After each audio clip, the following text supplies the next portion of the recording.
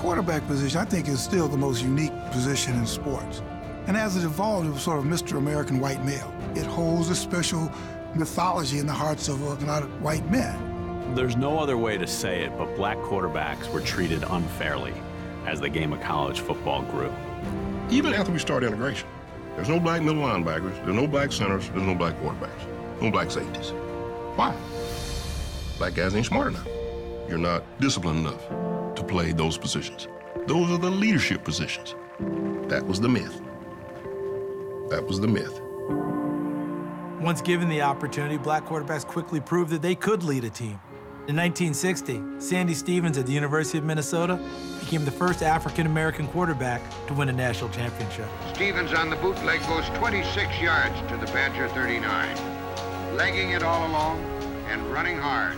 In the early days, black quarterbacks were only going to be given the opportunity to lead teams with the support of progressive coaches coaches who were willing to endure pushback from some fans and boosters. Michigan State coach Duffy Daugherty, you know, he's got 20 African American players, and he's got Jimmy Raye as an African American quarterback.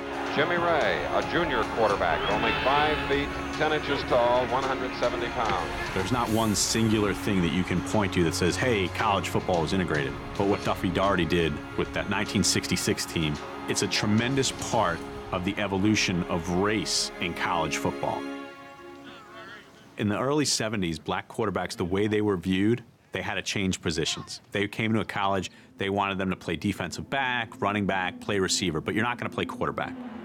Condredge Holloway, my hero at Tennessee, the Artful Dodger, always told me that Coach Bryant said, I'd love to have you here, but at that time, I don't think we're ready for you as a quarterback. I'll take you as any other position. He was very appreciative of Coach Bryant being honest with him. Most of the great black athletes in the Deep South or the Southeast are staying home, taking the grants and aid here to play in Southeastern Conference schools. Did you ever have any misgivings or doubts about coming into one of the last of the lily white leagues? Uh, now that I look back on it, Jim, no, I didn't. I, I didn't come here as a pioneer for anything as far as being black. Condredge Holloway is the most inspiring figure to wear the orange uniform. And it expands even beyond that. When you talk to other athletes at other universities in the Southeastern Conference, it wasn't just that Condredge played quarterback, it was the way that he played, it was the way that he conducted himself to this day. Condredge Holloway of Huntsville, Alabama, quarterback for Tennessee. Going long, the man is there. Beautiful to the Alabama 30. It was tough to break through that paradigm of stereotype and lies.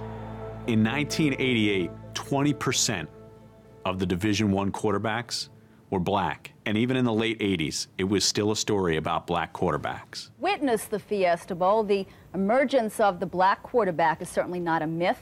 It is happening, and it is a testament to the triumph of ability and determination over prejudice. The 1989 Fiesta Bowl saw for the first time two black quarterbacks leading their teams in a national championship game.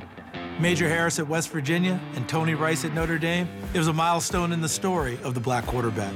It's Notre Dame number one, West Virginia number three, only the eighth time in the last 50 years two unbeaten, untied teams have met in a bowl game to decide the national championship. The myth of the black quarterback not being competent is shattered when you see them win national championships, when you see them lead teams.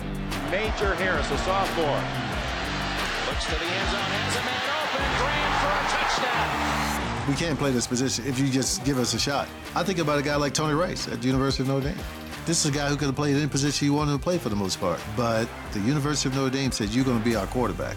He's on the cover of Sports Illustrated three times in one season, and he's the guy under center for the longest winning streak in the history of Notre Dame football. He breaks away from Parker, 45-50, and Rice is all the way forward and still on his feet and tripped up at the 32-yard line. Well, what does he do? He's the last guy to win a national championship for the University of Notre Dame. The most valuable player in today's game is Tony Rice. Join me in the signal honor of awarding the 1989 Heisman Memorial Trophy to Andre Ware of the University of Houston. Andre Ware was the first black quarterback to win the Heisman Trophy. He won it in an offense that threw the ball in a way that colleges had never seen before. Andre Ware rewrote the collegiate record books this year. He threw for more than 4,000 yards. In all, he set 17 individual passing records. Andre Ware was sort of a revelation, and to see a black quarterback operate like that and at a high level in 1989, it was revolutionary. After Michael Vick came along, asked Virginia Tech what happened there and how that helped them grow the university. And all of a sudden, now they're a national power. Now they're Michael Vick.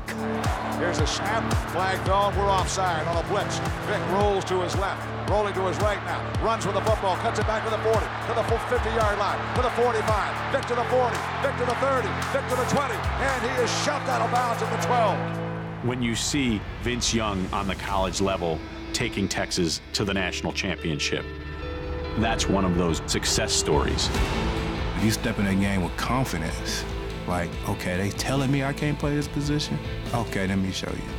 And I used to have that so much growing up and playing on the pro level and the college level. Fourth and five, the national championship on the line right here. He's going for the corner. Doesn't matter what color of your skin you are. It's just how much you prepared yourself to play the game of football and how much passion you have for the game. You can force him out of the pocket, but you're not going to beat him. Invincible. The winner is Lamar Jackson of University of Louisville. Lamar Jackson at 19 years old, being the youngest Heisman Trophy winner ever. That breaks down the barriers that were there before.